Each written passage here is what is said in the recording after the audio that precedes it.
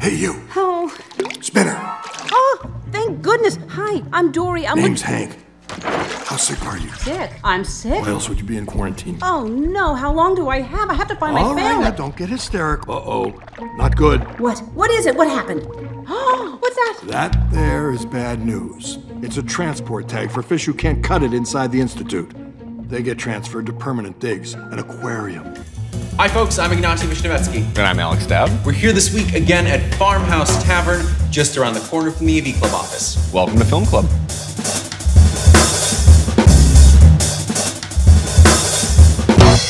So, Finding Dory is sort of the Jaws 3 of Pixar sequels. The film is set almost entirely at this big California marina park. Now, the original film, Andrew Stanton's 2003 original, was set primarily in large expanses of the Pacific Ocean. The movie kind of inverts the original in that, you know, in the first film, it's Albert Brooks's character Marlin who's chasing his son across the ocean. Right, and. Dory, who's voiced by Ellen DeGeneres, tags along and here it's yeah, sidekick it's- essentially yeah. Yeah. the sequel sort of switching things up moves it to this marina park where the characters are sort of separated in different pools and different tanks. And this film not only shifts focus to dory it basically has her looking for the parents that she Mm-hmm. sort of all, all these years later forgot that she had. It's very cleverly sort of reworking the exact same premise as the original and just relocating it to this much more in- contained environment. I, I find this, uh, especially with some of the more recent Pixar films, where I'm starting to see the strings a little bit more. You've become, you could say, acclimated to the formula. Yeah. You know what it's like. You know how, what they're going to do. You've got the the character who is this kind of misanthropic. Well, you wouldn't call it misanthropic, right? Because he is not. Is not. It's not people that he relates Right. to. But this this prickly octopus Yeah. character, who will of course become softened over time. Although I think that, that it's funny because that character clearly serves a narrative function, Mm-hmm. but I also think he serves a logistic function because so much of the movie is getting characters who can only swim. Yeah, from 'cause you one need to get of them this. from the water. So he's got legs. you Yeah. know, he's Well- got he's got tendrils, so he can he can swoop them around, and and the movie kind of cheats that a little bit, where like I I, I think a slightly smarter Pixar film would think of really inventive ways to get them from point A to point B. This film's just like ah, bird grabs them and flies them over. Yeah, there. Bird grabs them or they get tossed. They get tossed out of so many lot of containers, containers of water into other containers of water. but it, it's not that visually compelling. And there's so much that could be done with that environment, and so much that Right. Pixar has done in the past with very small environments. You know, you think of something like, well, even something like Pizza Planet mm-hmm. from, from Sure. the first Toy Story. Well, They- and Stanton has, I mean, WALL-E has that. The second half of the film is set aboard that ship, and we're basically in this giant sort of rotating mall. And that's the kind of environment that I feel like this maybe could have been transformed into, where you have yeah, because you're right. Because the because the here the environment actually gets bigger in the last in the last part of the film, and that's where it's sort of lost me because I feel like the premise, right? You've got this little fish that can't remember anything. She just remembered that she has to find her parents. so there's a moment in, in Finding Nemo in the original where Dory is lost and she doesn't know she doesn't know she doesn't remember anything. And she's asking various fish you know who is she? Where where is she? Where are her friends? That's sort of an underrated moment in the pantheon of of like sort of Pixar heartbreaking scenes. Mm-hmm. And this movie seems to build all, all of its emotional material off of that same idea. So we're um, just seeing sort of an echo of the most sort of powerful moment in the first film If I had to pinpoint a problem with this film, I think it's a problem of scale. If you look at the last few Pixar films, the the more ambitious ones have gotten more and more interiorized, and uh, they've sort of they've constrained the action more and more. And uh, I mean that's that's true of something like Toy Story three, I think. But it's the perfect example is really Inside Out. And here, kind of the main driver of the plot is a character's memories, right? Dory has very poor memory, very poor short-term memory. Mm-hmm. We're constantly getting these flashbacks, and that's what advances the plot.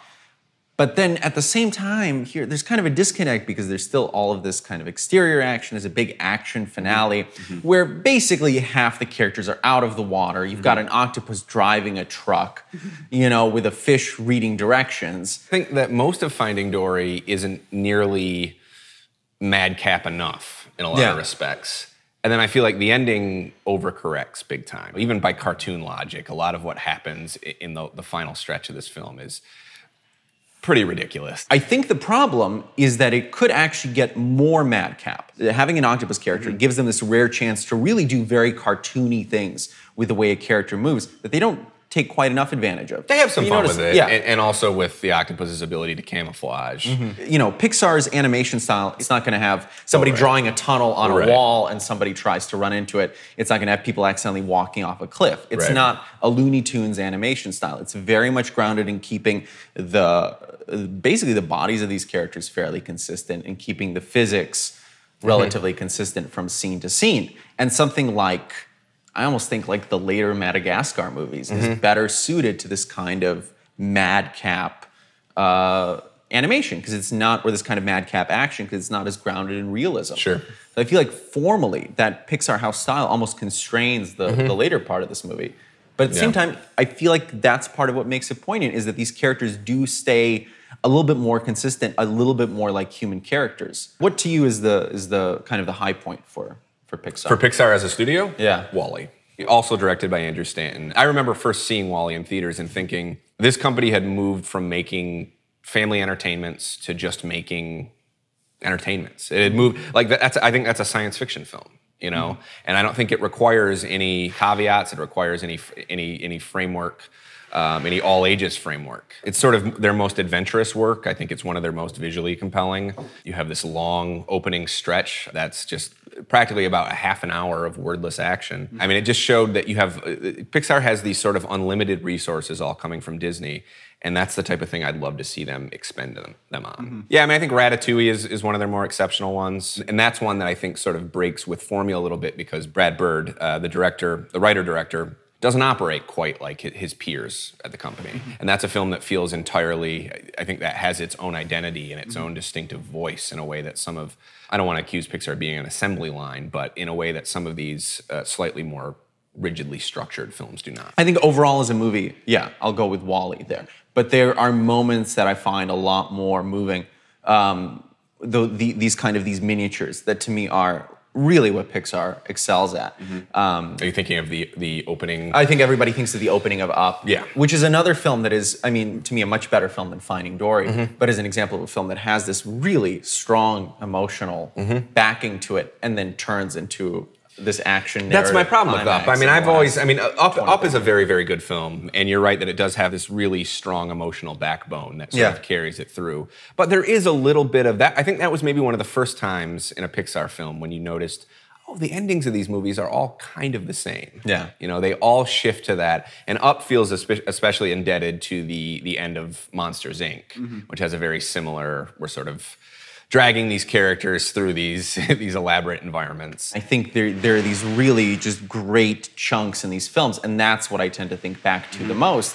But the question is, uh, you know, obviously in Toy Story 3, it depends, a lot of it depends on the buildup of the film, which I'm not as crazy about as I I'm not as crazy about it either. A Thank lot of- you. a lot of- because a I lot think a lot of people- people sort of give that one a little bit of a free pass. Um, I mean, you're right that it has it has wonderful moments, and it has. I mean, the incinerator scene is an amazing cathartic, like especially to see at the end of this family franchise. There's something about that that feels like they're identifying certain buttons that they know that they can push, and they're pushing them. Mm-hmm. And I don't think that that in, in that environment in Toy Story 3 ever really pays off in the way that it could as a central environment and as this sort of madcap backdrop. The movie sort of, for, for a bit, flirts with becoming a prison break film, but it never really totally It never. You're, you're right. When it when they do give themselves constraints, and I think one reason that both you and I really like WALL-E is because it gives itself a constraint and it sticks to it. Mm-hmm. You know, it's it's not gonna have this robot talk for a long portion of the film,